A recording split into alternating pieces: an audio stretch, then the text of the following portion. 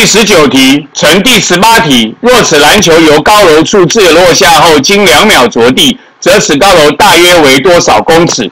这个我们当然也是可以带公式，也可以画图，但是因为我们自由落体比较简单，因为我们知道它初速是零，而加速也知道是九点八，所以带公式会变得非常快。我们公式就是 S 等于 V 零 T 加二分之一 AT 平方。我们没有初速，所以没有 V 零 T。位移就是二分之一加速度，我们知道九点八，时间花两秒，二的平方，所以就是二乘以九点八，所以十九点六。所以我们第十九题问我们说，经两秒着地，则此由高大约为多少公尺？我们答案选的是 B，十九点六。